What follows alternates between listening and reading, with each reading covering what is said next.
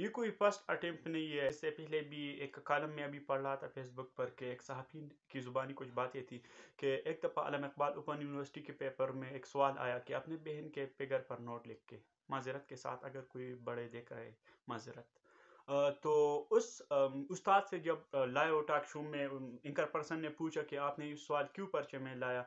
तो उसने कहा कि इसमें क्या हरज है? ये तो सही सवाल है। तो वो इंकर पर्सन परमारे में शर्म से पूछ भी नहीं सकता था। उसे इज़्ज़त नफ्स का ख्याल रखते हुए कि आप क्या आप लाइव शो में अपने अपने बहन का फिगर पर बात कर सकते हैं? तो मैंने खामोशी इख्तियार की। तो ये कोई फ़र्स्ट टाइम नहीं है। आज काम सेठ यूनिवर्सिटी के पेपर के हवाले से कुछ बातें सोशल मीडिया पर बहुत ज़्यादा गर्दिश कर रही थी। तो मैं चाहता था कि इस पर भी बात कर सकूँ। चार पाँच दिसंबर को काम सेठ यूनिवर्सिटी के bachelor of engineering English department के फ़र्स्ट सेमेस्टर का एक पेपर था इंग्लिश पेपर जिसमें एक सवाल आया था, एक ऐसे पंद्रह नंबर का पेपर था, एक क्विज था क्विज नंबर फोर जिसमें एक सवाल था इंसेस्ट के बारे में इंसेस्ट असल में कहते क्या है, माजरत के साथ। जब क्लोज रिलेटिव एक दूसरे के साथ गलत काम करते, इसको इंसेस्ट कहते हैं मेरे ख्याल में ये मोरली इथिकली और सोशली गलत बात है, किसी भी मज़हब में इसकी इजाज़त नहीं होगी मेरे ख्याल में।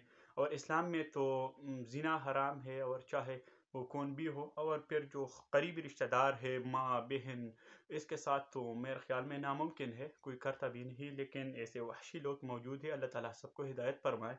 तो इस पेपर में एक सवाल आया था इंसेस्ट के बारे में कि दो बहन भाई थे, फ्रांस गए थे, गर्मियों की छुट्टी गुजारने कॉलेज से तो एक रात समंदर के साहिल पर एक होटल में ठहरे और वहाँ पर कुछ गलत काम किया। इस तरह कुछ मैं इसकी तर्जुमा भी आपके साथ नहीं कर सकता, क्योंकि शर्म की बात थी। मैं बड़े भी लोग देख रहे होंगे तो आप सबसे दिल्ली माजरत अगर आपको बुरा लगे। लेकिन यानी टॉपिक कुछ यूँ था कि एक बहन भाई गलत काम कर रहे थे। तो फिर आखिर में पूछते, क्या उन्होंने ये सही किया या गलत किया? यूनिवर्सिटी के पेपर का सवाल है, पाकिस्तान इस्लामी जमहूरिया पाकिस्तान और काम से यूनिवर्सिटी जो है, टॉप यूनिवर्सिटी में उनका शुमार होता है, इंजीनियरिंग यूनिवर्सिटीज़ में। तो उनमें ये सवाल आया, चार या पाँच दिसंबर को।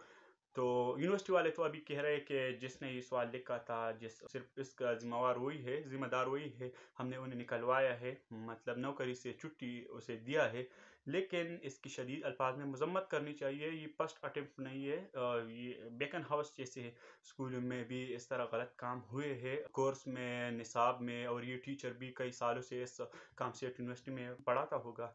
तो इसकी शदीद अल्फाज में मजम्मत करता हूँ, और हुकूमत से अपील करता हूँ कि इसके ख़िलाफ़ शदीद एक्शन ले स्ट्रिक एक्शन ले और जो इसमें मुलविस है, उनको सख्त से सख्त सज़ा दे ताकि दोबारा कोई ऐसे काम न कर सके। शदीद अल्फाज में मजम्मत और बड़ों से इंतहाई दिल्ली माजरत।